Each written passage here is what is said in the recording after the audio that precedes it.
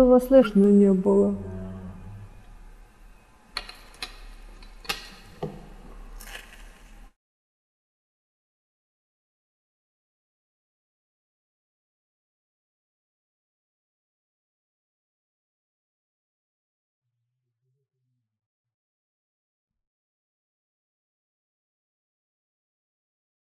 торопитесь, не торопитесь. Поспешность. Добрый день, уважаемые телезрители живого телевидения. Я вас э, приветствую в нашей студии. У нас сегодня снова программа «Букинг». И я хочу вас познакомить э, с Еленой Абрамовной э, Рабинович-Вейзель. Здравствуйте, Елена Абрамовна. Здравствуйте. Я очень рад, что вы согласились принять участие в нашей программе. И до этого мне посчастливилось прочесть вашу книгу. Э, очень интересную книгу, скажу я вам. Ну, на мой вкус, конечно. Я думаю, что те из телезрителей, которые зашли на сайт с анонса передачи и прочли ваши рассказы, они со мной, пожалуй, согласятся. И вот, когда я читал вашу книгу, я все время раздумывал о том, вот в каком жанре написана эта книга. Ну, так условно для себя я э, придумал слова «лирический дневник». Но, э, лирич... замечательно придумал. Да. Э, правда, это, наверное, не я придумал, это просто у меня откуда-то всплыло. Я когда-то, наверное, это где-то слышал, быстрее всего. Э, лирический дневник действительно, это, э, мне кажется, очень подходит э, к тому, что вы делаете. А после этого я начал думать о том, а где я впервые столкнулся вот с произведением этого жанра? Сначала я думал, что это очень редко. Наверное, вот вообще э, уникальные э, писатели пишут в таком жанре, сочиняют в таком жанре. Хотя назвать это сочинениями трудно. Здесь многое основано на вашем жизненном материале. Да. Вот на том, что вы пережили, и не просто даже о событиях, а вот о том, как это в вашей духовности происходило все. Вот ваше впечатление, скорее, вот так можно назвать. Э, и вспомнил про книгу Николая Морозова «Повести моей жизни». Он когда сидит, это огромная, толстая такая книга, значит, он когда сидел э, в Шлиссельбургской крепости, на 20 лет его осудили как террориста в свое время, а он уже туда попал э, ученым человеком, хотя был очень молод. Я теперь помню, вспомнила. Да. И вот он по просьбе Веры Фигнер, Фигнер. которая там же с ним сидела. вместе сидела, значит, она его попросила, чтобы он написал свою биографию. Э, и, а он в это время э, сочинял труд по математике какой-то, э, делал какое-то исследование. И он подумал, что эм, ну вот чем-то мы должны жертвовать для друзей. И он пожертвовал временно написанием этой работы по математике и написал эту книгу, которую ему, которую ему удалось вывести из тюрьмы, когда его освободили. И я всегда восхищался вот тем, как написана эта книга. И там нет ничего такого, э, что ли, очень особенного, каких-то затей таких, что ли, э, э, ну, как бы композиционных или каких-то других. Она написана так, как ему приходило в голову вот в то время, когда он там находил. Торопиться ему было некогда, 25 лет сидеть, поэтому вот. Но у вас не было такой ситуации. И когда я вот вспомнил про Морозова, мне снова пришло в голову, что это ваша ведь первая книга сейчас. И э, мне пришло в голову, что в первой книге многие писатели прибегают к своей биографии, но не просто не к тому, к чему прибегли вы. Потому что большинство тех, кто пишет первую книгу, описывают почему-то свое детство, вот как у Горького. У меня тоже есть. Да, но эта книга не о детстве. Нет. Да, эта книга совсем о другом. И вот э, э мне хотелось бы э, узнать, как вы э, вот э, будучи инженером и ведя такую жизнь ИТР, как тогда э, говорили, сейчас уже это слово забыли. ИТР э, это значит инженерно-технический работник. Да. Как вы пришли к тому, что вы стали писать рассказы, сочинять? Ой, вот мой первый рассказ здесь есть. Он называется «Москва, москвичи, гости столицы». Дело в том, что у меня было очень много гостей из Тбилиси, семь человек. И я никак не могла, и еще тетя с Украины, и я никак не могла их разместить. И я замучилась с подушками, с, с одеялами, с обедами. И у меня был, наступил момент жуткого отчаяния. И вдруг я пришла на работу, бросила все, села и написала вот этот рассказ. И с этого все началось. Мне уже было к 40, наверное. Так что, вам полегчало после того, как вы... Вы знаете, когда я его написала, так полегчало, я думаю, боже мой, ну правда же, а что тут такого? Я уходила ночевать к брату, потому что для меня уже места в квартире не было. И каждый день я ездила на работу от брата, приезжала, всех кормила, там укладывала и ехала домой к брату ночевать.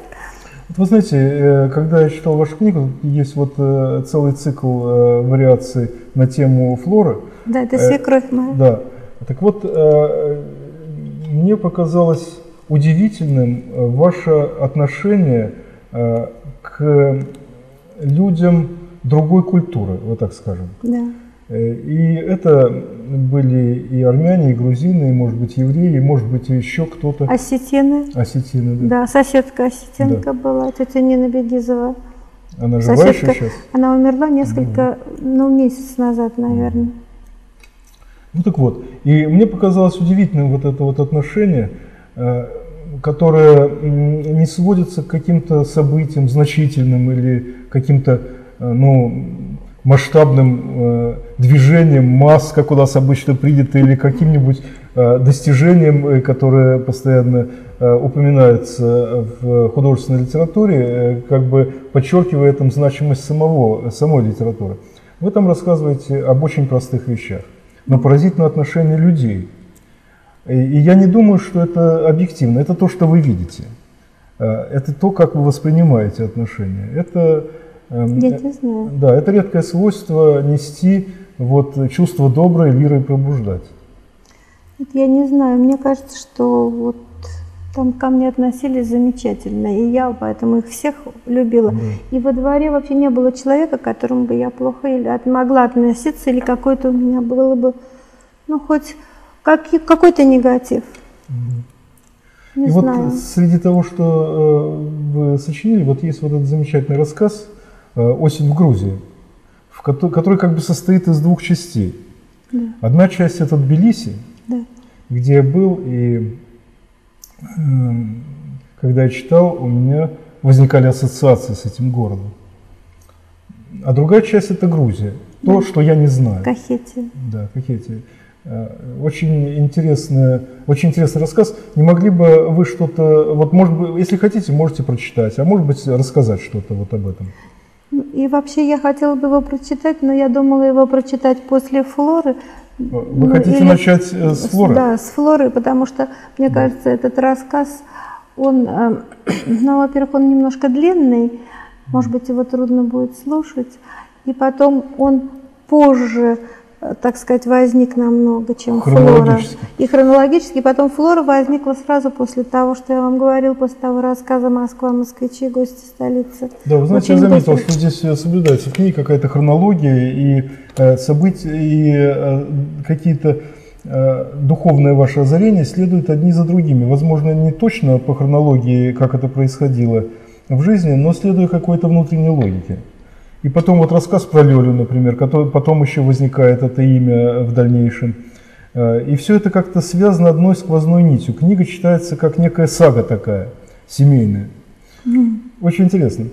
Спасибо вам за такие слова, потому что я очень, ну, даже не представляю. Дело все в том, что я действительно инженер, и мне никогда не думала о том, что я смогу писать и буду писать, но в какой-то момент у меня вот какие-то такие порывы бывают, что я должна сесть и написать что-то. Скажите, а вот во сколько это у вас началось? Сколько вам было в это время? Ну, вот около 40, наверное. Ну, знаете, это еще не предел. Вот, скажем, художница сейчас известная, не так давно в Третьяковке была выставка, она в Суворова-Алферова, она э, стала рисовать свои картины в 60 лет, но она в это время была инвалидом и не вставала с постели. Муж ей ставил мольберт. По-моему, я видела по да. телевидению. Нет, не было может такой быть, передачи? Да, может, быть, но я видел просто в оригиналах ее картины. Ставил угу. перед ней мольберт, она лежа э, да. это делала. И она до, смогла достичь в этом ну, достаточно э, внушительных э, успехов. Поэтому, если вы начали в 40 лет, ну, вы уже просто ну, я мало, Я мало пишу, потому что только тогда, когда я чувствую вдруг, что я должна сесть и написать. Вот просто вот, вот что-то меня мною движет. Два-три дня я вечером думаю перед сном, когда ложусь, что вот что-то, как, какой-то сюжет, вот приходит ко мне какая-то мысль. Я не могу сказать, что он у меня как-то выстраивается. Потом уже как рука ведет, так и пишется. Да. А, вы говорили, что вы хотите начать с флоры. Да. Можно? Возможно? Нет, это я вас прошу. Да. Вариация на тему флора. Любимому сыночку Флоры посвящается. Вступление. Однажды в доме появилась Флора. Я не ошиблась, когда написала Флора с большой буквы, потому что Флора – мама мужа. «Учти, я свекровь, всех кровь», – сказала она. Я учла. Флора бойкая, живая, веселая, взбалмошная, злюка, добрая душа, шумная, любопытная, скрытная, себе на уме, просто, про, просто трогательная, заняла огромное место в моей жизни и душе. Правда, сначала я познакомилась с мужем, потом с Флорой, а уж потом с Грузией. Началось все примерно так. Прилетели мы в Тбилиси августовским вечером, последним рейсом. Домой добрались ночью. Тихо входить во двор не имело смысла, потому что все окна, двери, сияя светом, были распахнуты. Никто не спал, все ждали Флорину невестку. «Пусть твоя нога будет счастливой в нашем дворе», — сказала тетя Шушек. «Дорогая, приходи мне завтра на кофе, золотко мое!» Красивая девочка, Шурикина жена, громко известил народ дядя Васико. «Слушай, слушай, дядя Васико», — пропела мне в ухо Нико. «Он умный, он кадетский корпус кончил». Все дружно закивали головами. «Рано выводы делать, познакомиться поближе надо», — подвела итог тетя Марго. «Это Марго всегда все испортит», и Флора увела меня в дом. У огромного старинного стола хлопотали еще четыре мои благоприобретенные свекрови. Тети Маруся, Виктория, Женя и Маня. Стол ломился от яств, лобя, хачапури, зелень, овощи, фрукты в высоких старинных вазах. Чехах били сациви, баклажаны с орехами, пхали, жареные куры, жареная форель, горячий хлеб и, конечно, кувшины с грузинским вином кинсмараули. «Ты мой дорогой, какая худенькая!» — сказала тетя Женя. «Садись скорее кушать». «Ничего ты не понимаешь, Женька, всегда была немножко тупая», — поставила на место Женю Флора. «Не худая, а в самый раз». «Флора, веди себя прилично, не компрометируй нас», — произнесла величественная тетя Маруся. Виктория, маленькая, худенькая, совершенно седая, в свои пятьдесят лет молчала и вытирала слезы. «Раскудахтались!» – проворчала тетя Маня, сестра свекра, деловито снуя возле стола. «Что, детей с дороги кормить уже не надо?» С этой минуты я уже никогда с ними не расставалась, дорогими моими свекровями. На всю долгую жизнь стали они мне родными и близкими. Примерно в семь часов утра я проснулась в первой парадной комнате от жуткого сердцебиения. Размахивая руками, сбила с лица газеты и увидела незнакомого мужчину, небритого в огромной кепке. «Дай, думаю, разбужу Флорину невестку, а то лицо рассмотрел, а глаза зеркало души закрыты. Уж мы тебя ждали-ждали, гадали, какая ты москвичка. Что стесняешься? Вставай, подумаешь в ночной сорочке, что я женщин в ночных сорочках не видел. Всю ночь у меня на балконе шастают жена, теща, три невестки и две дочки». Я не только сорочки ночные, я все вещи Флориной семьи знаю. Одевайся, что покажу. Мы вышли на балкон. На веревках, протянутых через весь двор, закрепленных в блоках, бесконечно сушилось белье. «Флора, иди слушай, ошибусь или нет?» Черные цветные – Арикины трусы, голубые побольше – Флорины, белые – Викторины, средние разноцветные – Норины, а маленькие – Риточкины – Двадцать лет уже, а трусы, как у ребенка, неодобрительно заметил Валико, бессменный Флорин почтальон. Слушая его, я все сильнее краснела. Никогда не смогу привыкнуть. Понять и принять такую жизнь пронеслось в моей голове. Но я привыкла, поняла, приняла и полюбила дом свекрови, родных, соседей, друзей и, конечно, Тбилиси. Сказочный город, город грез. Люблю весной, когда он пахнет фиалками, Люблю летом, когда ноги вязнут в асфальте, а занавески, как паруса, наполненные ветром, летят из всех окон.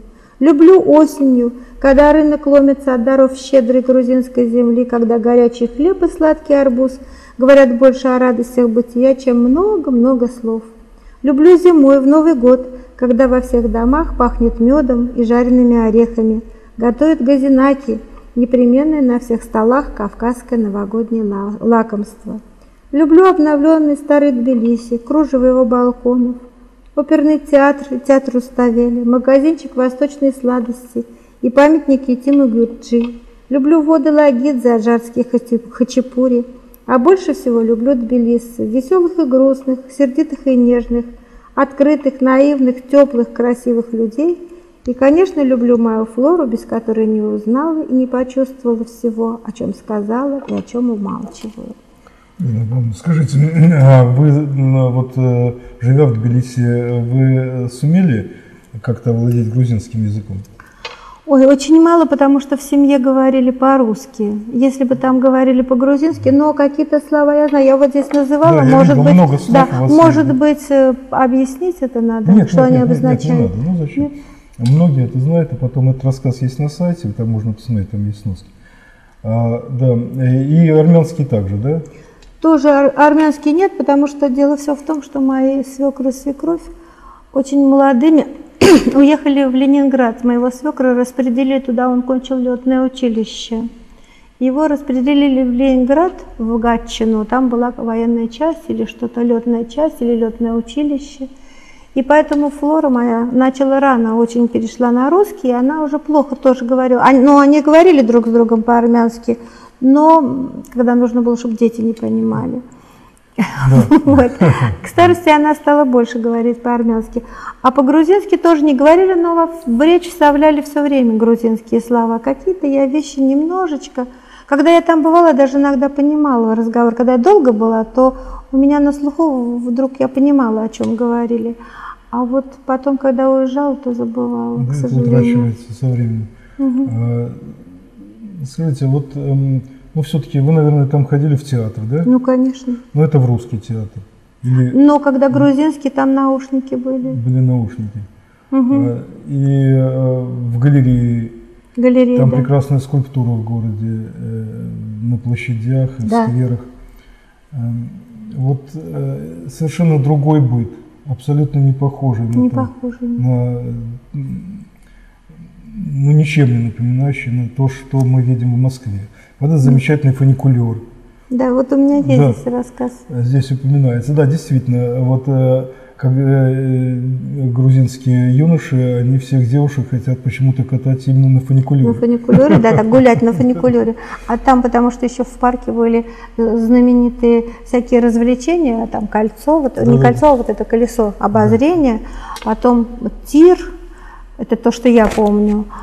Больше я что-то ничего не помню. Но там еще что-то. И там был знаменитый грузинский ресторан, куда возили всех гостей, которые приезжали в Тбилиси. Как называется? На фуникулере. Там ресторан. А, на фуникулере, да, да. я там был. Там ресторан вот этот знаменитый. Да.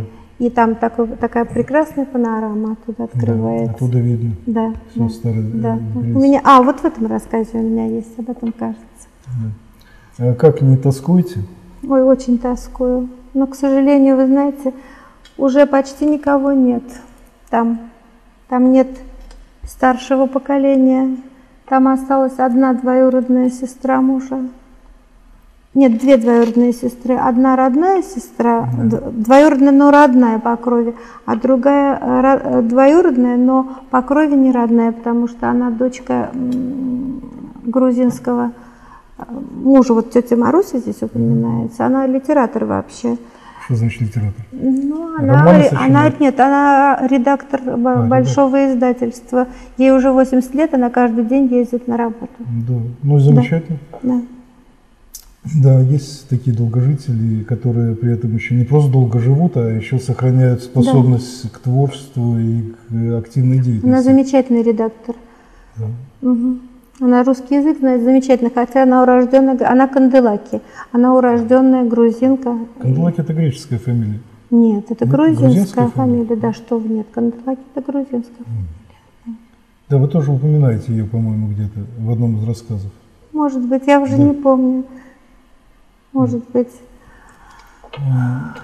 Ну вот э, скажите, вот вы когда вообще в то время, когда вы там жили, насколько я помню, там был э, журнал «Литературная Грузия», да. да, очень интересный, и который публиковал то, что не публиковалось нигде больше. А вот другая сестра э, по она по фамилии Нейман, да. а ее мама вот Виктория, она была замужем за Нейманом, но его бедного студента еще арестовали, он не видел, и она не видели. Отца, отец не видел дочки, и дочка не видела. Тетя Виктория была беременна, когда его арестовали, он в институте какой-то анекдот рассказал в 1934 году. Да. Это было. Представляете, э, смех, э, оказывается, мог стать смертельным. Да, так и время. было, так и было. И потом он, э, потом уже, когда получили документы, оказалось, что она пять лет посылала посылки, а его уже не было в живых. Да, а это... к ней, ей приходили письма. Да, я знаю целый ряд таких историй.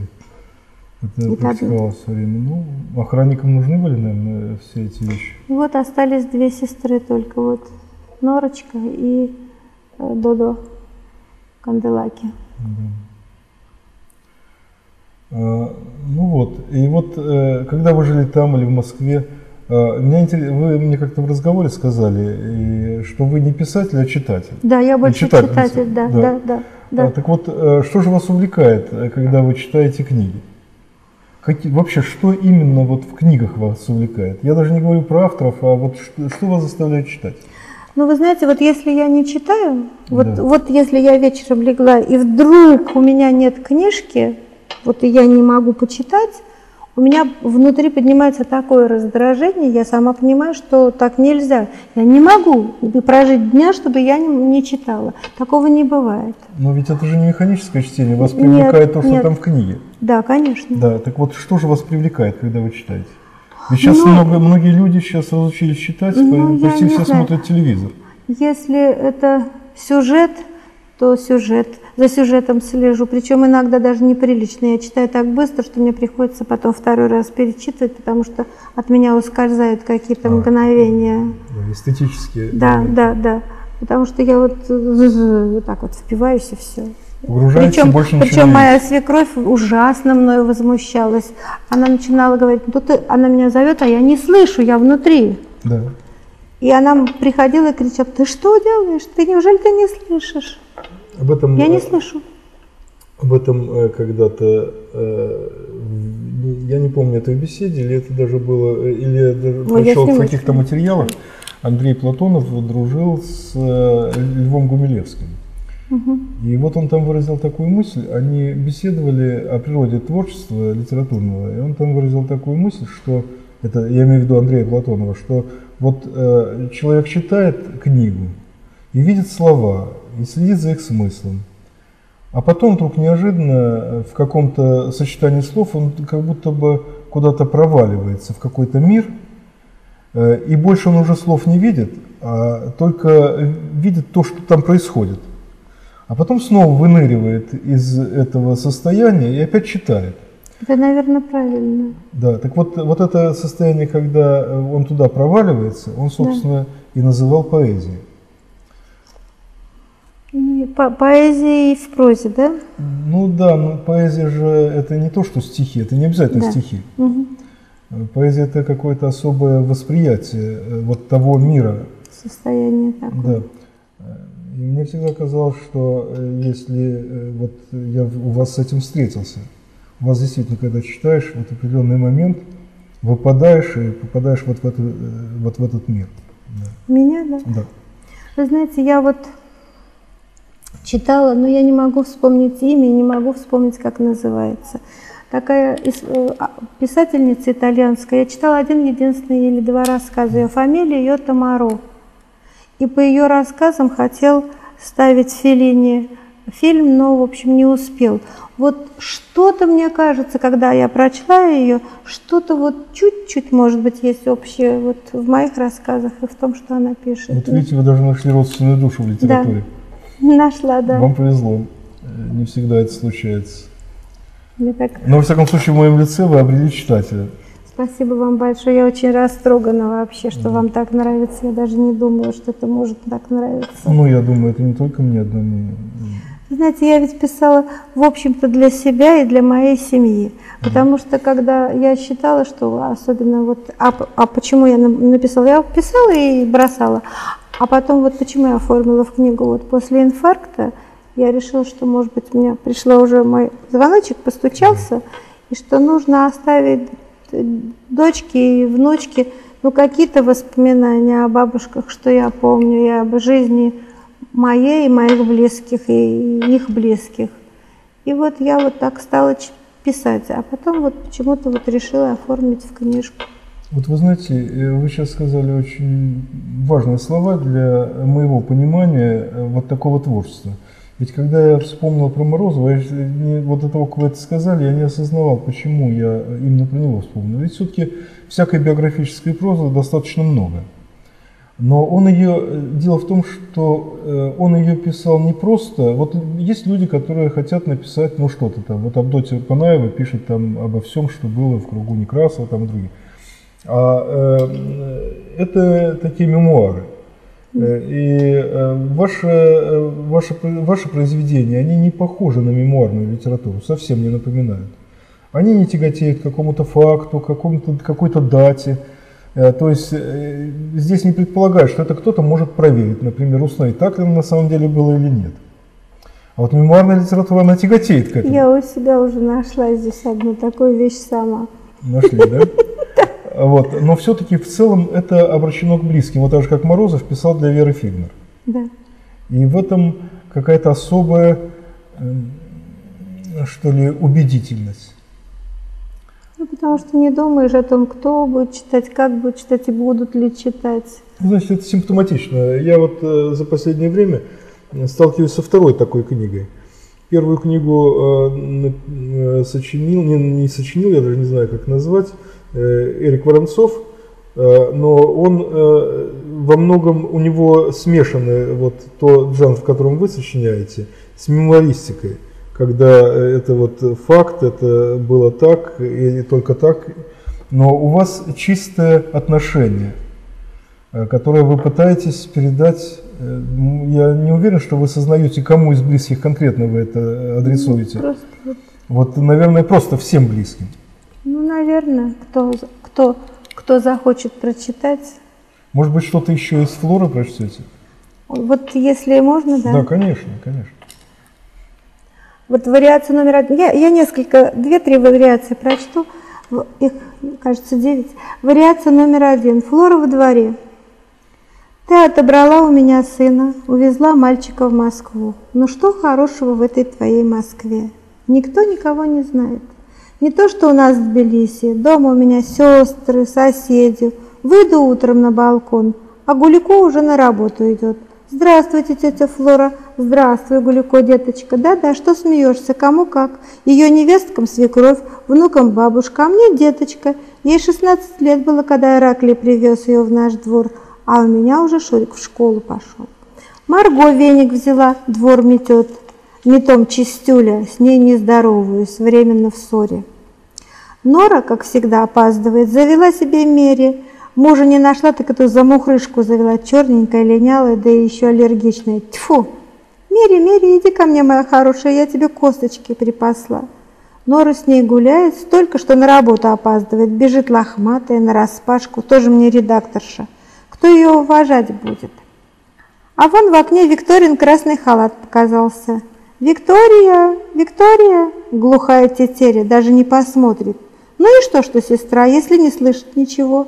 Знает, что я утром на балкон выхожу. Не слышишь, так в окно посмотри. Виктория, приходи ко мне в карты играть. Никуда не уйдет твой обед-мобед, мне тоже надо готовить. Потом что-нибудь быстро с варганем. Здравствуй, Амаля. Сегодня что, вторник? Это Амаля, скажу тебе по секрету, немножко гиже. Пошила пять платьев, цвет разный, фасон один – понедельник красное одевает, вторник зеленое, среду голубое, четверг желтое, пятницу сиреневое. И все узкие-узкие, спереди декольте, сзади вырез и разрез. Конечно, мальчики за ней бегают, работать им мешает. Мурман теперь очень важный стал. Свой телефон завел, к тете Флоре звонить не приходит. Ремонт такой сделал, чтобы вход через улицу был, а стекла на балконе гнутые, мятые, ничего не видно. Изнутри Цира говорила, все видно. Сама не, не видела, на второй этаж уже не хожу. Но вот девочки у него хорошие, красивые и воспитывает их строго. Стук-стук-стук, каблуки. Бебина ученица идет. Тупая, видно, немножко. Учит, учит, идет, а все спотыкается. Нет, Боже, сохрани, не подумай, что Беба плохо учит. Что-что, учительница она хорошая, весь Тбилиси знает, но Рита моя лучше. А, а Нико не Нико на посту. Из-под занавески выглядывают. Нет, чтобы пойти, поздороваться, поговорить немножко. Ведь все уже пенсионерки, дома целый день. Правда, не Нико в аптеку на три часа ходит, фасует. Пенсия маленькая, добавить надо. Тетя Флора, привет! Здравствуй, Тимо. Уже девять часов, а ты еще в майке. Как опоздаю? Разве можно на работу опаздывать? Какой ты пример показываешь нехороший. Не дам тебе кофе. Какое время кофе пить? Работать пора. Ну ладно, не подлизывайся, сейчас принесу. А все потому, что кутишь не вовремя и меру не знаешь. Был бы жив твой отец, он дал бы тебе ремня.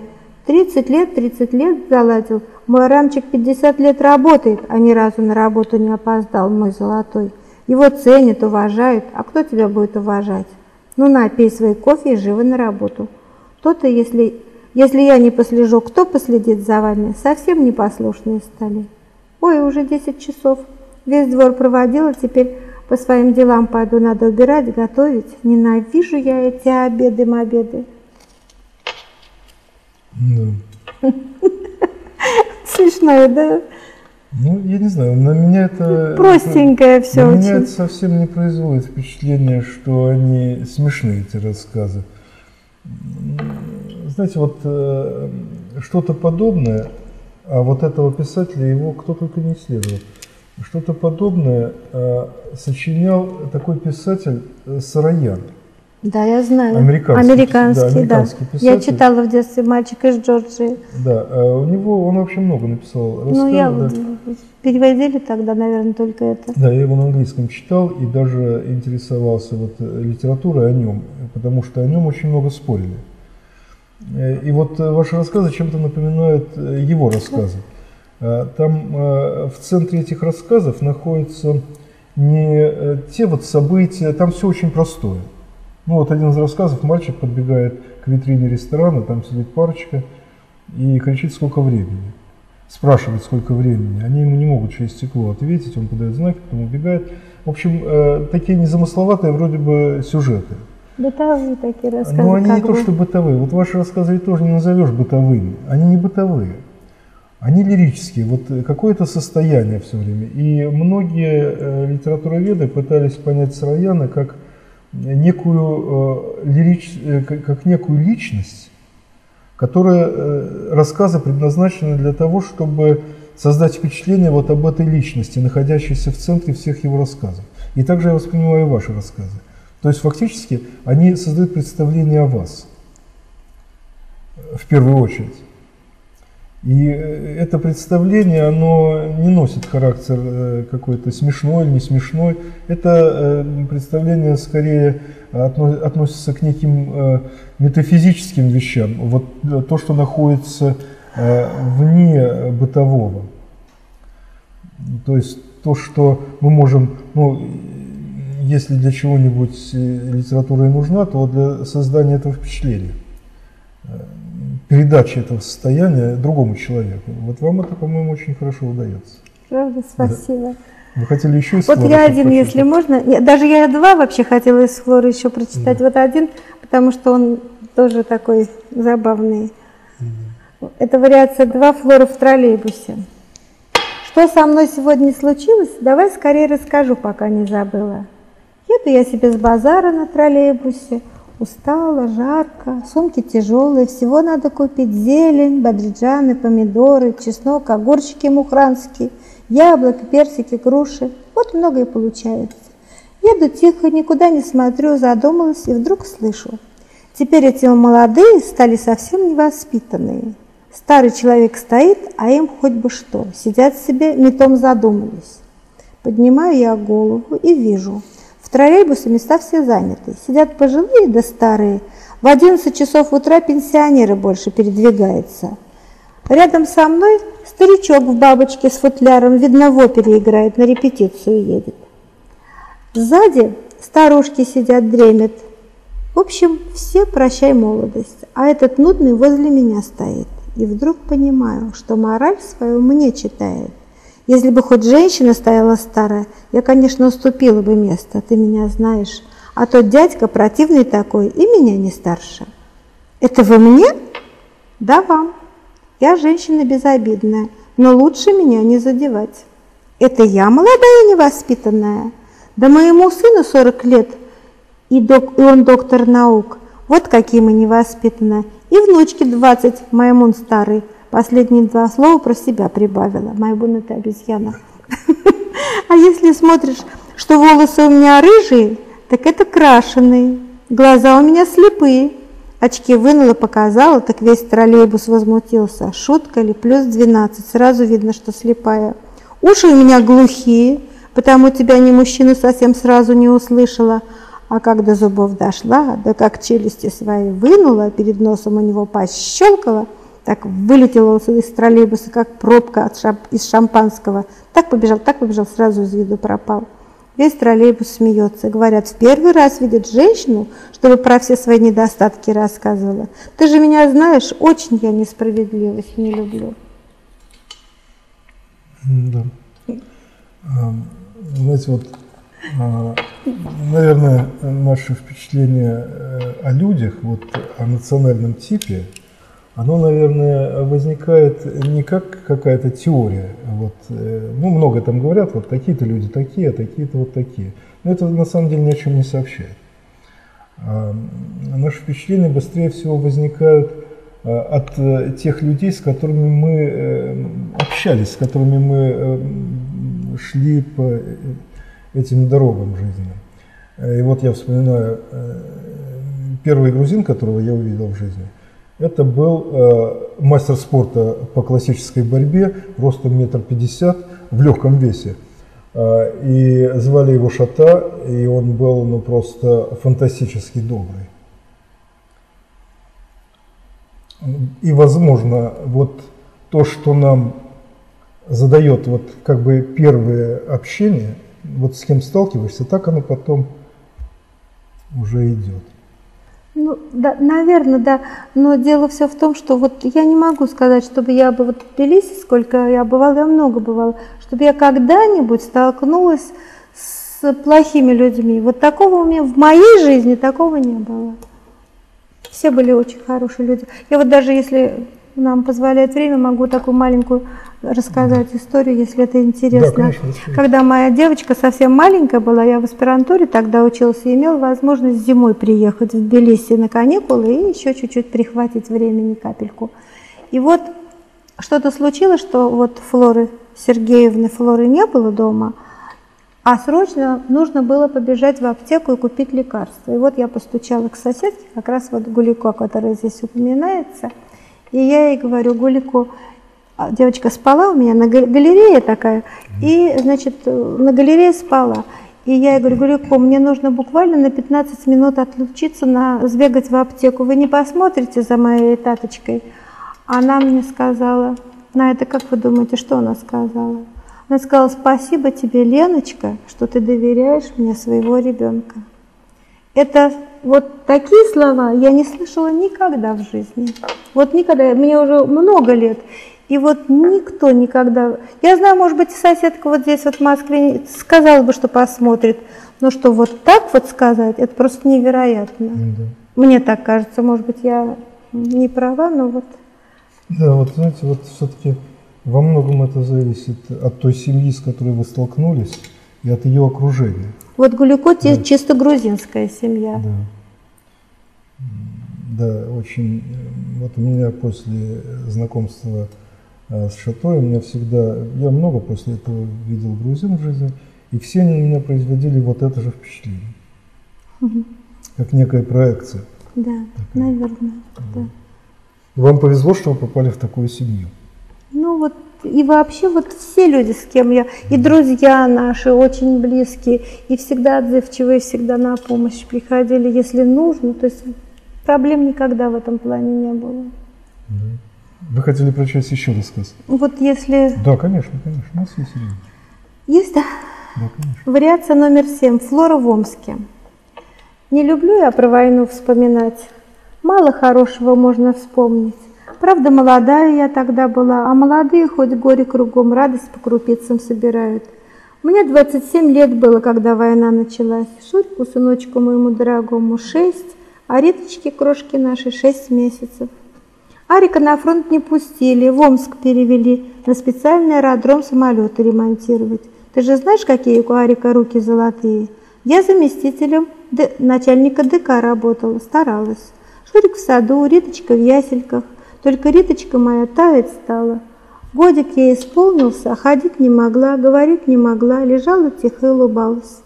Кормить ее совсем нечем, молоко у меня пропало, корове достать нельзя. Хлеб, правда, был по карточкам, шоколад летчикам давали, они иногда детям дарили, но доктор сказал, витамины надо. Если, говорит, сегодня, завтра не покормите ребенка, девочка умрет, дистрофия у нее. Арик мой тихий, сдержанный, а тот пистолет вынимает, на стол кладет и говорит, умрет девочка, тебя и себя убью. Вот он у меня какой, если уж скажет слово, то слово его закон.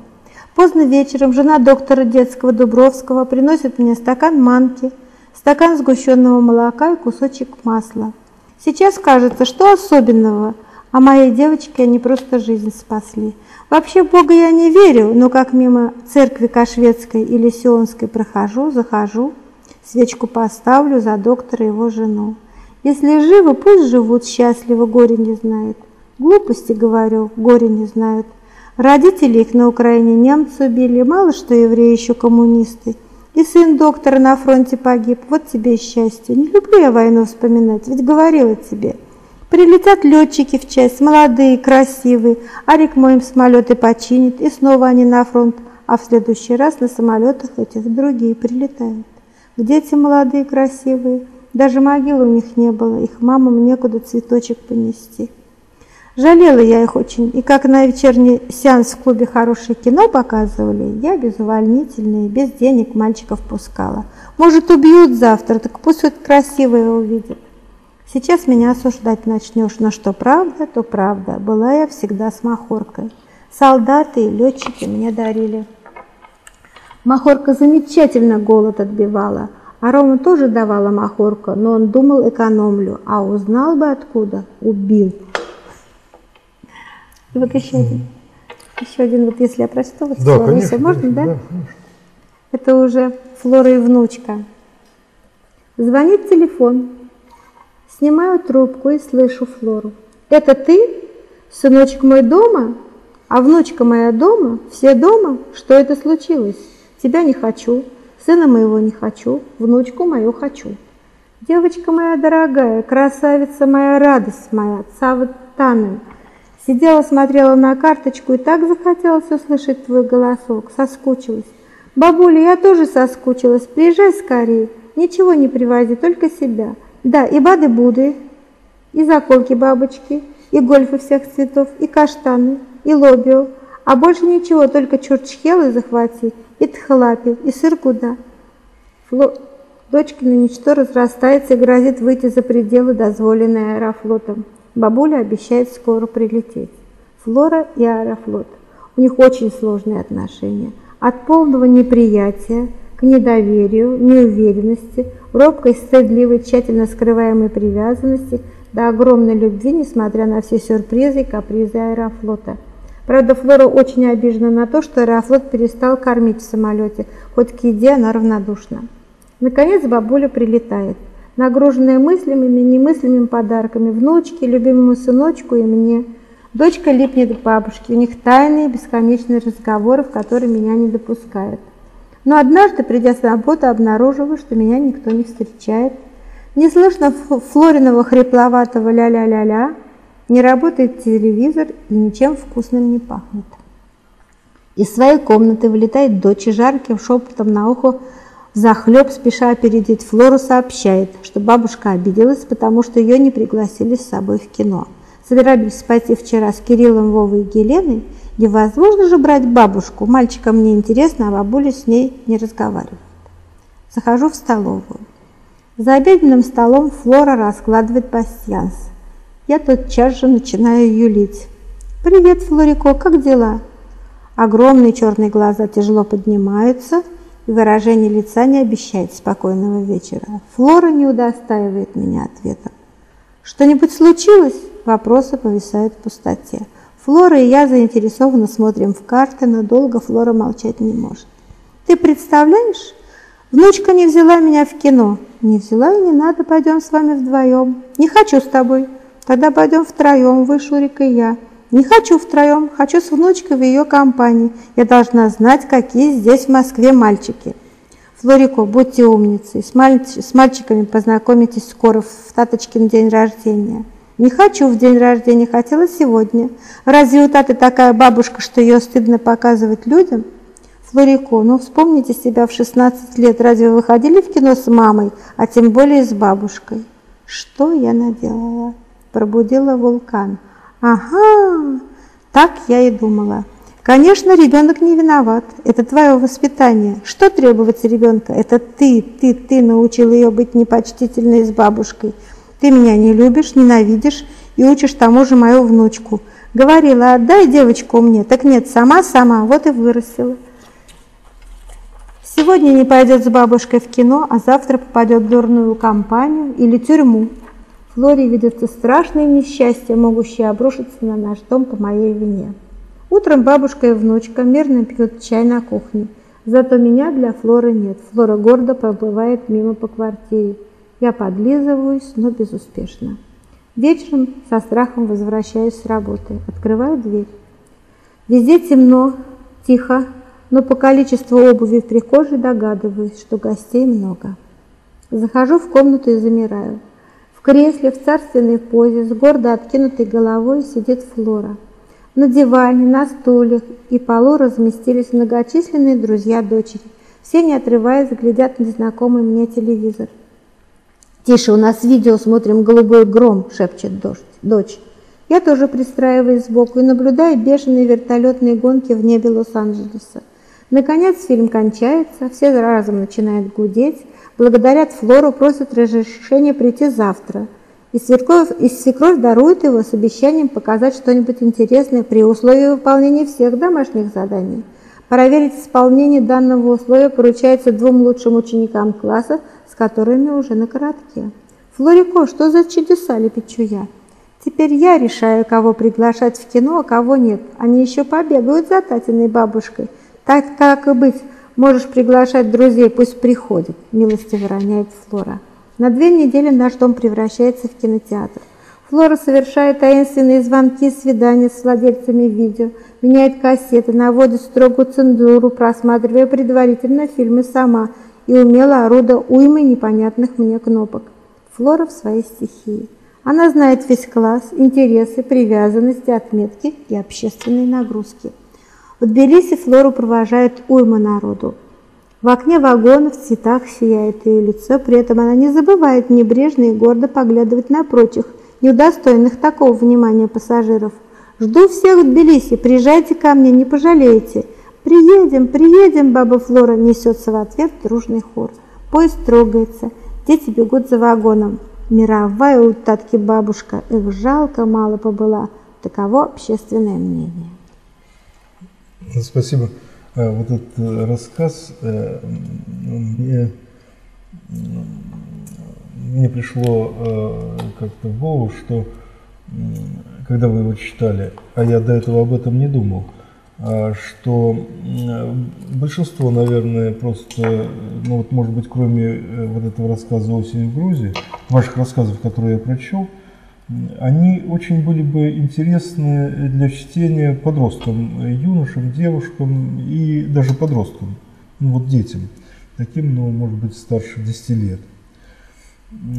И они как раз такие, которые отвечают, э, которые интересны одновременно и взрослым, и детям. Это э, качество очень хорошей литературы. Это редко бывает, потому что то, что пишут специально для детей – оно, как правило, достаточно схематичное, и взрослым это читать неинтересно. Ну, вот там, где пытаются, писатель пишет вот специально для детей. А я люблю детские книжки. Любите, да? А вот кого вы любите из детских писателей? Я вот очень любила Асееву. Да, я, это мне незнакомый автор. Нет, да? да потом, потом, ну вот еще у меня была, ну, книжка такая, Брунштейн, Бруштейн. А, она писала а, тоже о детстве. Я не помню, как, как эта книжка называлась. Дин, Динка, Динка, Динка, Динка. А, да, да. Э, это что-то всплывает смутно. Да, да, вот. Это Руштейн, это знаете, кто она? Да. Она мама Надежды Надеждиной. Да. Которая организовала «Березку». Да, да. Она была, говорят, хорошая писательница детская. Ну, вот эта книжка Динка была чудесная. Я ну, вот, давно не перечитывала. Но я все равно остаюсь, вы меня не убедили, потому что я все равно остаюсь сторонником такой э, литературы, взрослой, которую одновременно было бы интересно читать детям, и можно было бы, и даже нужно им было бы читать. Э, есть, конечно, другая литература, которая э, способствует развитию сознания, вообще развитию взрослого уже человека, потому что когда заканчивается воспитание в школе, в семье, в ВУЗе, то дальше человек э, уже сам себя может воспитывать или не воспитывать, если он это не хочет. И у него для этого есть э, многие инструменты. И среди этих инструментов есть литература. Для меня один из главных инструментов. Да. Так вы занимаетесь самовоспитанием. Да. А я считаю, что кем бы я была, если бы не литература. Просто никем бы не была. Ну, я в этом ну, не уверен, не убежден. Я но, так думаю. Но мне кажется, что э, литература, когда она используется для самовоспитания, она достигает этой цели. Если это, конечно, не э, билетристика, вот э, такая билетристика, которая э, связана с времяпровождением. Ну вот можно смотреть детектив по телевизору, например, там, или же читать его в книжке но от этого развитие человека не возрастет, который э, потребляет вот эту продукцию. Но, но детективы можно читать тогда, когда что-то ты болеешь, когда на душе как-то очень тяжело, и вот в этот момент вот можно почитать детективы. Вот я и Агату Кристи иногда вот любила, ну, Семенона тоже. Интересно было читать, ну, но наряду с чем-то, конечно, а не, не как основную литературу. Ну да. Но все-таки вот если уж э, такие трудные моменты, физические или нравственные, да. или какие-то еще, больница. Да, которые у всех людей случаются, да. к сожалению, время от времени, э, то, э, наверное, я бы и себе, я сам это практикую, и нашим зрителям тоже советую, и, может быть, вы читали эту замечательную книгу Стерна «Жизнь и мнение Тристрама Шенди. Джентльмены». Нет, я не читала. Это одна из умнейших книг, написанных людьми. Но она при этом ну, просто безумно смешная. Там э, эта книга о чудаках, и э, среди нас чудаков немало, да и мы сами время от времени что-нибудь отчудим. И вот эти психологические наблюдения и умозаключения о том, о культуре, о людях, которыми наполнена эта книга, они очень э, бодрят и э, заставляют, как говорит наш президент, быть в тонусе. Дело, дело в том, что ну вот, э, мы недавно читали книгу Стивена Фрая, может быть, вы читали ее, а может быть, вы читали на английском. А, называется она «Автобиография» вообще, или, по-моему, «Муав», «Умывальная чаша моя». Нет. Это, знаете, Стивен Фрай английский, вот этот вот, э, ну, наверное, прежде всего актер – да. Он в сериалах снимался, и много у нас его показывали. И вот сейчас он написал книгу совершенно поразительную, на мой взгляд. Она о детстве, кстати, много очень. Или о становлении молодого человека, его самого. Она очень откровенная книга, поразительная. Интересно. Я обязательно прочту по вашему совету. Вот мне кажется, что обязательно надо ее прочесть, потому что это действительно замечательная книжка. Я знаю, что вы хотели прочесть «Осень в Грузии». Да. Э, и я уже вижу, что вы хотите к этому приступить. Так. Э, больше не буду вас но затруднять это, вопросами. Но это немножко долго будет читаться. Ну что же, э, давайте попробуем. Давайте. Да. «Осень в Грузии». Осень, конец октября. Мы с мужем в отпуске у родителей. Тбилиси. Осенний город прекрасен, как всегда, как зимой, весной и летом. Обветшалые дома в солнечном свете не кажутся запущенными. В них сохраняется обаяние и театральность. Сожаление как-то неуместно. Проспект Руставели наряден и праздничен, все на своих местах. Оперный театр, Верхний Александровский садик, театр Руставели, Воронцовский дворец, любимый художественный салон. Я навещаю его почти ежедневно. Любуюсь картинами, грузинской коричневой керамикой, изделиями из мельхиора. На стенах разместились декоративные кинжалы, сабли. Ножны украшены филигранью и натуральными полудрагоценными камнями. На стенах рога, вернее роги, тоже в мельхиоровом обрамлении. Их можно подвешивать на цепочках, как любят на Востоке. Ковры и оружие, ковры и роги. Старинное оружие в серебре встречается изредка в старинных домах или музее. В, сало... в салоне его нет. Грузинские ювелиры любят гагатый перламутр, реже бирюзу и, и жемчуг. Я тоже люблю гагатый перламутр. Присматриваю для себя крупные украшения. Люблю кольца размером с фалангу, серьги, длинные капли, гагата или овальный перламутр с розами. Выполняю заказы московских подруг и коллег. Люблю покупать в салоне хоть что-нибудь. Изделия недорогие, но серебро, не золото доступно. Прогуливаясь, незаметно для себя оказываюсь на площади Ленина в конце проспекта. Заглядываю в музей, здороваюсь с пиросмани Гудяшвили, Перехожу подземным переходом на другую сторону, забегаю в ювелирный магазин, прохожу мимо универмага, метро, во дворе в его глубине приютился русский драматический театр. Если есть билеты, покупаю. Прохожу мимо дома правительства, почтамта, приближаюсь к магазину Лагицы. Непременно пью воду со сливочным сиропом, лучше двойным, или тархуновую, зеленую. В подвальчик, где угощают хачапури, не захожу – Домашние вкуснее, да и следует отдохнуть перед непременными визитами к родным и друзьям, оканчивающимися накрытыми столами. Заглядываю в винный магазин. Кинзмарауля, Хашени, Хванчкара ждут нас с мужем. Всегда покупаем ящик для московских друзей и родных. Книжный магазин, магазин тканей, подземный переход и домой. Прогулки в правую сторону проспекта люблю меньше, но все же добираюсь до нового здания филармонии, далее университета. Обратная дорога. У здания имела Института марксизма-ленинизма, построенного по проекту архитектора Щусева в 1938 году. Задираю голову. Сталин на месте. Это его единственное присутственное место в Тбилиси. Брельеф сохранился. Внизу на ступенях с начала Горбачевской перестройки расположились художники. Настоящий же вернисаж, обширный и разнообразный, на набережной Куры в сквере. Написала вернисаж и вспомнила, как шестилетняя крестница мужа светским голосом рассказывала. «Мы вчера были на Вернем Саже. На этом Вернем Саже я видела красивых кошечек. Так вот, если позволят деньги, на Вернем Саже куплю для длинношеях, как у Модельяне, юношу и девушку».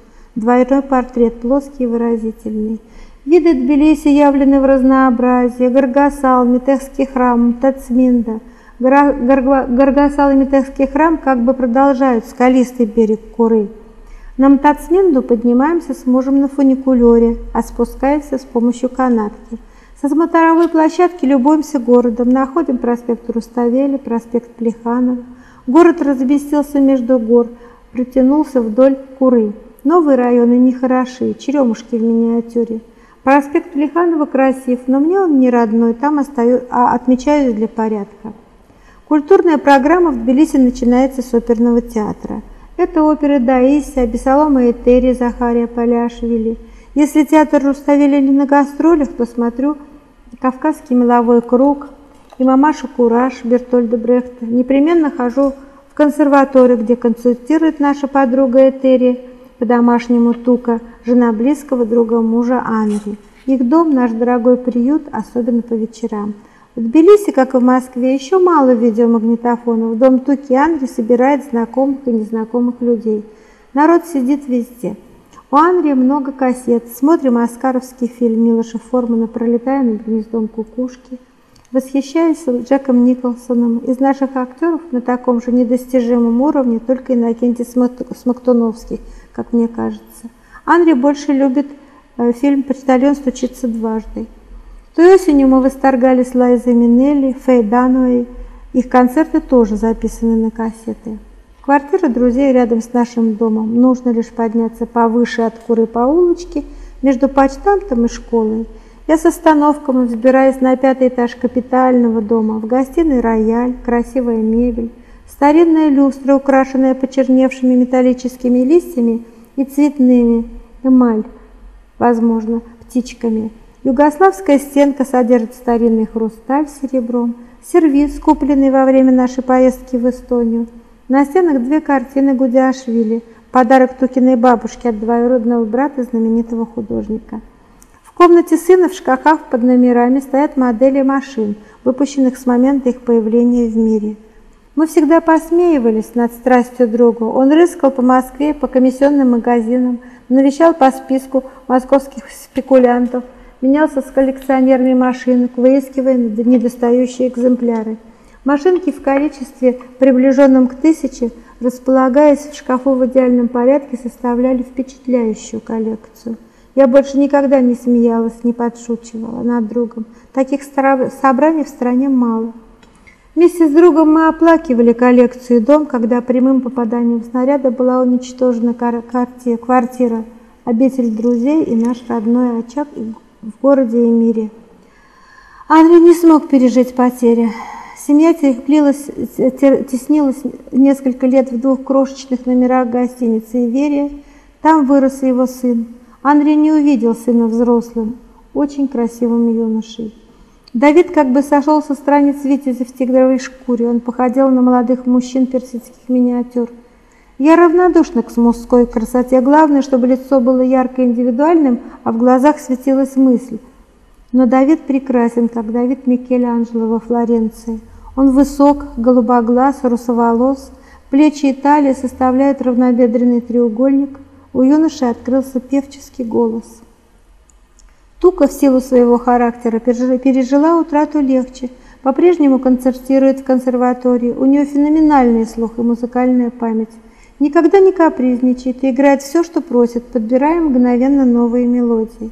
Она играет второй концерт Рахманинова, который по силам не всем музыкантам-мужчинам – но больше всего люблю, вернее любила ее концерты в музее Елены Ахваледиане. Рояль в уютном домашнем зале, картины художницы, сухие цветы в вазах, злаки, связки перцев лука. Возможно, на рояле Елена играл Святослав Рихтер, аккомпанируя жене певицы Нине Дроляк. Их портреты есть в музее художницы и коллекции Рихтера. Продолжая осуществлять культурную программу, посещаю филармонию. Слушала Ларису Долину, Лайку, Лайму Вайкуле. Когда дочка была маленькой, мы непременно заглядывали в зоопарк и цирк. Тбилисский зоопарк меньше, но красивее московского. Звери живут свободнее в больших вольерах. Цирк на холме, к нему ведет длинная лестница, ее преодолеть непросто.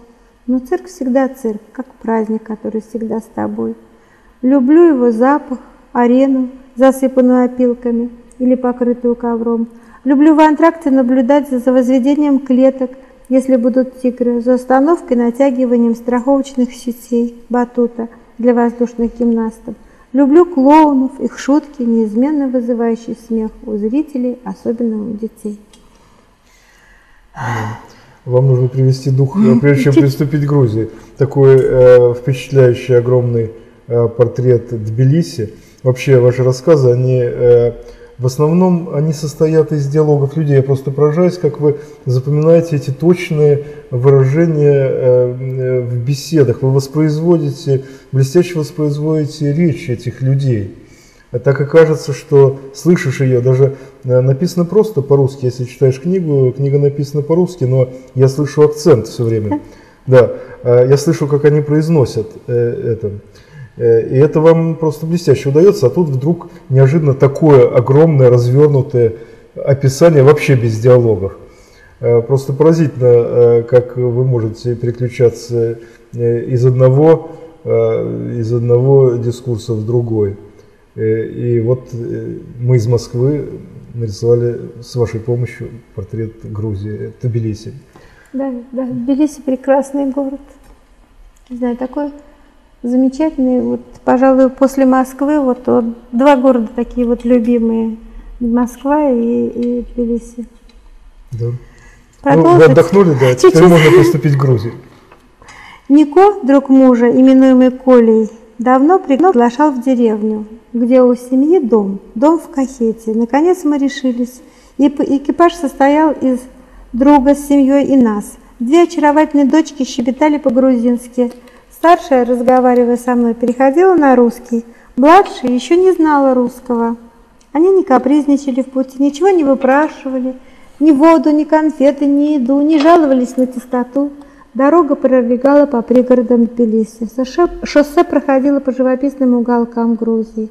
Холмы то приближались, то удалялись. Вдоль дороги росли невысокие деревца, похожие на акацию, кустарники с осенними листьями. Трава была сухой и желтой. В Грузии трава выгорает уже в конце июня. Свежую зелень, как в Москве, можно увидеть только весной.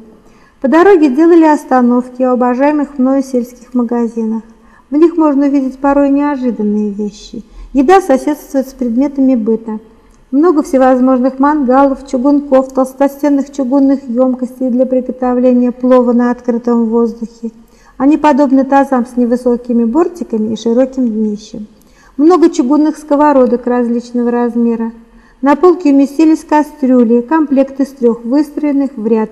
Под ними надпись «Гаструл», «Гаструлка» и «Гаструлчик». Такое бывает только на Кавказе. Отсмеявшись, переходим к другим отделам. Уйма ситцевого постельного белья. В Москве оно дефицит. Покупаю два пододеяльника в розовый цветочек. Ухожу, возвращаюсь. Докупаю шесть наволочек, еще два пододеяльника в голубой горошек. Горошек, постельное белье, полотенце – моя слабость. Покупаем горячий хлеб, пури и сочные груши. Хлеб разрываем на части прямо у магазина. Он с хрустящей поджаренной корочкой на второй день есть его невозможно, только после того, как сбрызнешь водой и погреешь на сковородке под крышкой. Груши моем у колонки. Сок течет по рукам, подбородкам, умываемся, едем дальше. Дорога медленно поднимается в горы и, наконец, привела в село Нукриане. Село в несколько домов, кирпичных, капитальных. Дом Колиных родных – самая высокая точка, вершина горы. Дети понеслись здороваться, мы тоже. В горах прохладнее, чем в Тбилиси.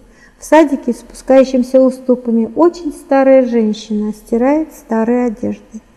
Намыливает их серым хозяйственным мылом, трет на стиральной доске. У нас когда-то тоже была такая волнистая доска, оказывается, они еще в ходу. Руки женщины покраснели, но она не замечает этого, привыкла, не добавляет в воду кипяток. Она вытирает руки фартуком, нежно обнимает меня, прижимая к худенькому телу, что-то говорит по-грузински. Скоро 90, но она деятельна и подвижна. Не менее старый человек, дедушка и прадедушка, уводит нас показывать хозяйство. Девочки остаются в садике, пощипывая с кустов и деревьев остатки плодов. На плоском кусочке горы располагается курятник, индюшатник, крольчатник, загон для кабанчика, коза и овин для десятка овец. Внутри загородки разгуливают индюшки и дуйки. Они недовольно клокочут и брезгливо разглядывают меня, побеспокоившего их сиятельство. Куры не обращают внимания на людей, лишь пестрый петух косит темным глазом. Козу держат для детей. Подле дома родителей Коли совсем нового и старенького поменьше обитать, обители стариков, не желающих покидать ее поселиться с сыном и невесткой, разожжен огонь. Молодой, уже приготовленный для жарки барашек, ждет, когда прогорят угли. Отец, сын, внук, соседские мужчины, кое-кто из них родственники стариков, усаживаются на табуреты возле костра. Мужчины беседуют.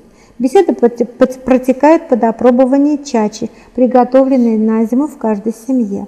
Надлежит опробовать десяток бутылок. Закусывают соленым домашним овечьим сыром. У него, как и у чачи, разные изготовители. Женщины хлопочут в доме, они жарят хачапури, чады, варят кур, трут орехи, чеснок, готовят что-то вкусное, накрывают сдвинутые столы. Здесь помогают соседки. Дети тащат меня на чердак. Он чист и огромен. Полы деревянные. Уже приближаясь по лестнице к двери, принюхиваясь к запахам, впитываю их. Чер чердак – царство запахов. Под крышей на крюках с деревянной балки висят, подсыхая виноградные грозди. Связки хурьмы, припудренные белым, не мукой ли, тонко нарезанных яблок соседствуют с гирляндами, ой, строчка. гирлянды сухих э, тонко нарезанных яблок соседствуют с гирляндами чернослива и груш. На деревянных неокрашенных столах лежат рядами гранаты, свежие груши, корольки и айва. Зимние сорта яблок покоятся в ящиках, пересыпанные стружкой. Вдоль двускатных стен тоже на крюках висят косы из лука, чеснока, связки красного острого перца. Подвешены для сушки всевозможные травы. Петрушка, сельдерей, кинза, укроп, мята, тархун, рыган, цветы шафрана, желтых, желтый цветок для придания цвета и аромата сациви. Корзина на полу полны грецких орехов и вылущенные из, из, вылущенные из початков кукурузы. Грецкие орехи – необходимый компонент грузинской кухни – Тонкоштуры легко ломаются, стиснутые по два в кулаке. Один орех колет другой. Забыла пшат. Пшат – плод дерева, не растущего в средней полосе. Его кожура сухая, красно-коричневая, хрупкая. Мякоть напоминает видом и ощущением вату, в которой угнездилась продолговатая косточка. Пшат как семечки, устаешь грызть и трудно отказаться. Чердачные запахи дурманят, рот наполняется слюной. Девочки угостили меня уже готовыми чурчхелами, которые даже не заметили. Не заметила потрясенная увиденным изобилием. Покидая мир сногсшибательных ароматов. Мы спустились вниз, столы уже накрыли, а мужчины во дворе пожарили барашка. Родные соседи мы разместились за столом. На нем теснились соленья, джанджоли с луком и подсолнечным маслом, зеленые помидоры, надсеченные, фаршированные чесноком, красным перцем и сельдереем, мелкие огурчики, цветная гурийская капуста, зеленый перец, чеснок. Соленья соседствовали с хачапури, сациви, отварной курицей, солеными домашними сырами, гоми, кукурузной кашей. Гоми идет сациви, каша пропитывается ореховой подливкой и можно обойтись без хлеба. За столе началось избрание тамады. Традиционная последовательность тостов не меняется в городской, деревенской, артистической, дипломатической компаниях. Поднимают бокалы за родителей, живых и нет, братьев и сестер, присутствующих за столом или отсутствующих, детей, внуков, друзей, персональные тосты. Их передают алаверды сидящим за столом мужчинам. В доме друг, друга старались, чтобы уважить меня, говорить по-русски – Пили молодое домашнее вино, потом стол захватило пение. Поразительная грузинская многоголосица. Лица помягчели и наполнились нежностью. Огрубевшие от солнца, ветра, снега, непогоды лица светились изнутри, объединенные музыкой. Пурмалили затянулась, возлияние тоже. Я посматривала на мужа, который отвык в Москве от традиционных грузинских вечеров. Похоже, он наклюкался надрался, попросту напился, потерял контроль, его клонило ко сну. За окнами потемнело, похолодало, и горы поглотил туман. Наконец гости разошлись, отведав предварительно барашка. Детей, стариков и нас отправили спать, сами же занялись уборкой. Утро было замечательным.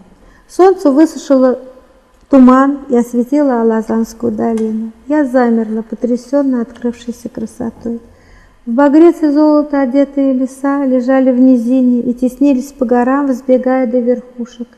Тени от горных вершин перемежались с сияющим на солнце золотом листвы. Кое-где зеленели ели, оттеняя красное, вишневое и почти фиолетовое свечение кустарников и деревьев. Здесь уместна поэзия. Друг позвал завтракать. Муж поправлял здоровье повсеместно известным способом. Коля хотел показать нам живописную дорогу в город Тель-Авив, лежащий в долине, известный многим по фильму «Мимино». Горная дорога привела к поляне. Нарядные деревья раздвинулись и открыли прелестную маленькую церковь с голубыми маковками, золочеными крестами, вонзающимися в небо и белоснежными стенами.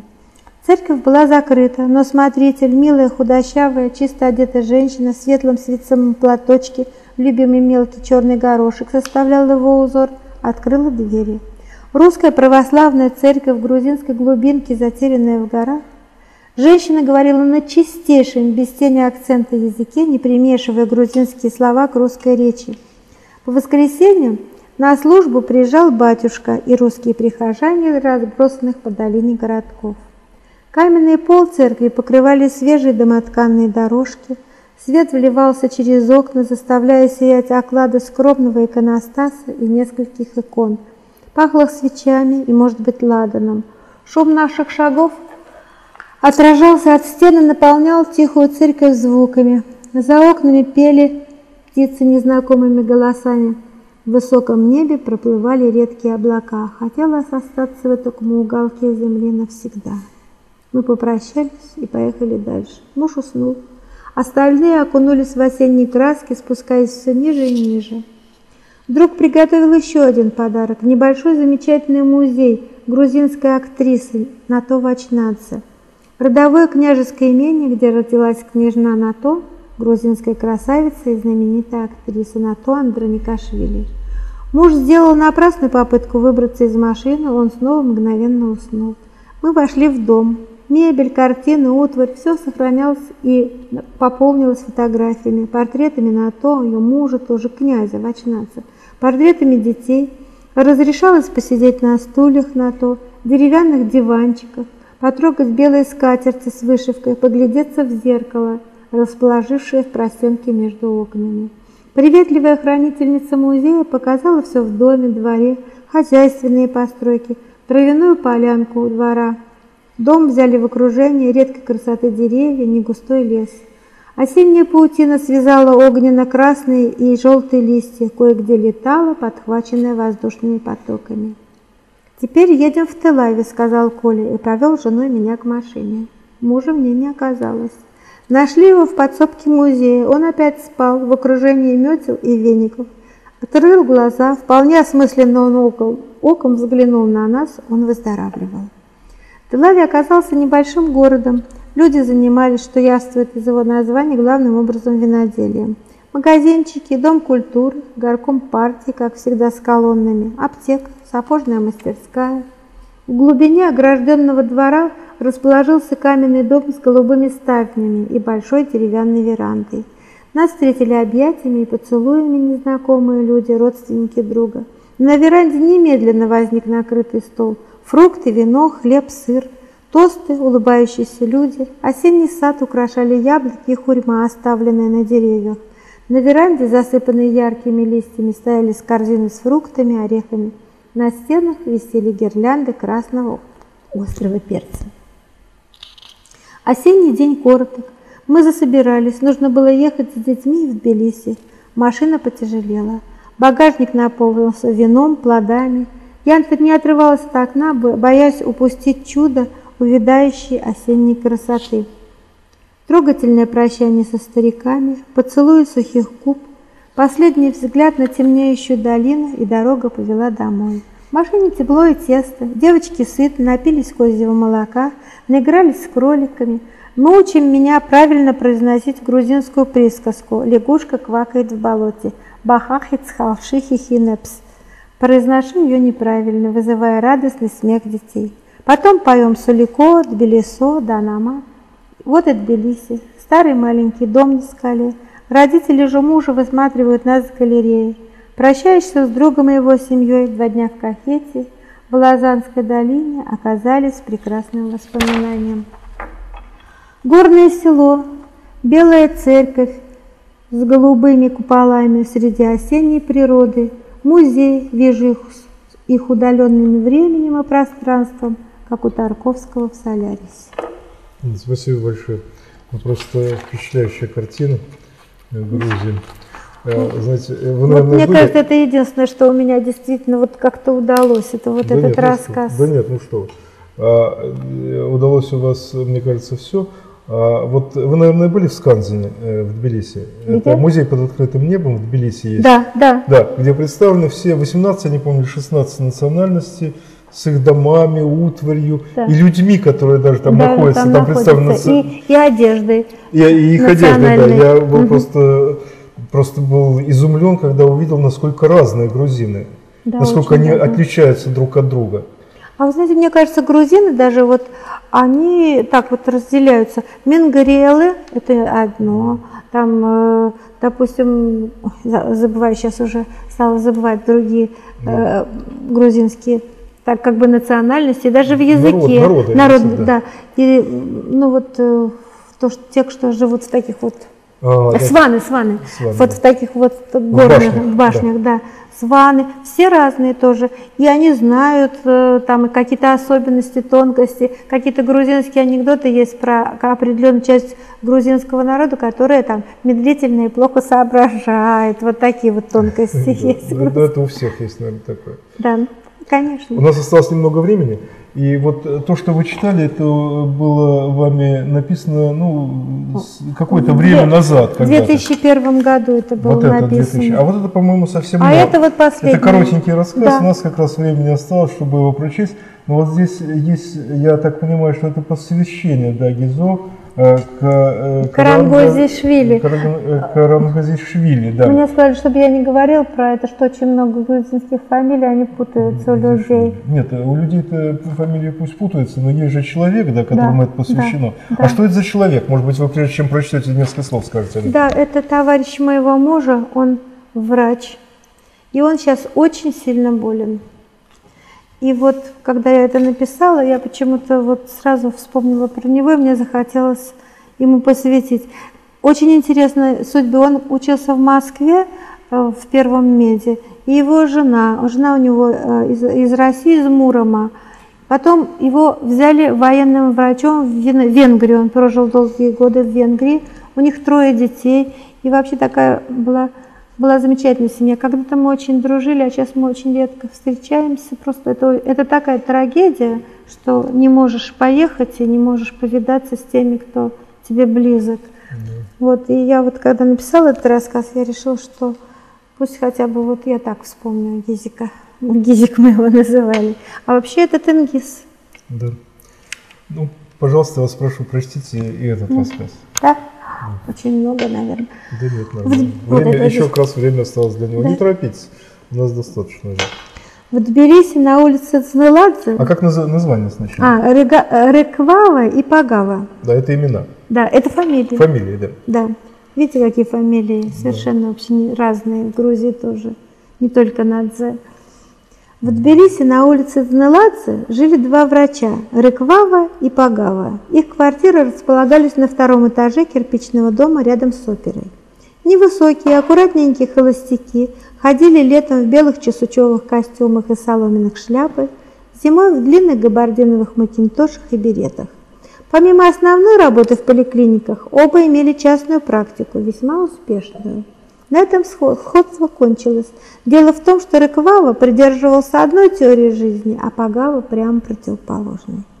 Доктор Рыквава считал, что человеку от рождения отпущено определенное количество ударов сердца, поэтому их следует экономить. Ходить спокойно, неспешно, не бегать за трамваем, хоть они редкие, не размахивать руками попусту, никакого спорта – Полезен вечерний мацион по набережной Куры, где много зелени и мало машин. Доктор, доктор соблюдал неукоснительно основы своей теории, имел много последователей и последовательниц пожилого возраста. У Пагавы тоже имелась теория образа жизни – движение, движение, движение. Последователи бегали по той же набережной Куры, наращивали мускулы в спортивных залах и домашних условиях. Пагава возглавлял забеги – делал зарядку на балконе, выезжал на воздух в пригороды Тбилиси, Цханеты и Кикеты, походить по горам. Риквава и Пагава были не в ссоре, но, постарали, но старались пореже встречаться друг с другом. Этим пользовался их сосед с верхнего этажа, Алик Акраперидзе с грузинского Золотов. Он жил в квартире Буре, Павла Буре, говорил народ, и был его внуком, то бишь последним потомком. С утра Алекс занимал пост, и как только Рыквава открывал дверь своей квартиры, Алек быстро и громко хлопал своей. Доктор прятался, как улитка, и ждал выхода Пагавы. Пагава же, думая, что сосед ушел, открывал свою дверь. Алик немедленно бухал своей. Пагава возвращался к себе, тихо прикрывал вход. Золотому мальчику не надоедало вставать раньше, чтобы развлечься. Минут через тридцать он прекращал бой дверями и отправлялся в школу, где в красках описывал героический процесс. Ни шатка, ни валка дожили Реквава и Пагава до 70 лет и независимо друг от друга отметили юбилеи в кругу поклонников и пациентов. А утром обоих обнаружили умершими. Над улицей Дзеладзе повис плач. Наклеили траурные сообщения. Три дня проходили панихиды, траурная музыка. Старухи в черном принимали, два независимых потока людей с пяти до девяти вечера. На четвертый день два гроба поплыли в толпе коллег, последователей теории и случайных прохожих. Поскольку Дзеладзе улица не широкая, обе процессии смешались. Добавились зеваки и любители келехов, поминок. Так закончились жизни доктора Рыквавы и доктора Пагавы. Народ долго их вспоминал, удивлялся слегка усомнивших в теориях специалистов. Потомок Буре до сих пор навещает могилы и ставит поминальные свечи в Кашветской церкви, что на проспекте Руставели. Он уже старше своих соседей. Спасибо большое, Елена Абрамовна. Это за... вам спасибо, что вы меня пригласили. Нет, вам спасибо за ваше творчество, вашу книгу. Я надеюсь, что вы еще порадуете еще одной, может быть, и даже не одной книгой. Э, я вам желаю творческих успехов. Спасибо большое. Э, уважаемые телезрители живого телевидения, э, сегодняшняя наша передача в программе «Букинг» подошла к концу. Мы с вами прощаемся. Желаем вам также успехов в вашей деятельности и э, творческих также успехов, если кто-то из вас любит э, литературу и занимается литературой. Это была встреча с Еленой Абрамовной Рабинович Лизой. До свидания. До свидания. Спасибо большое, кто смотрел и слушал меня.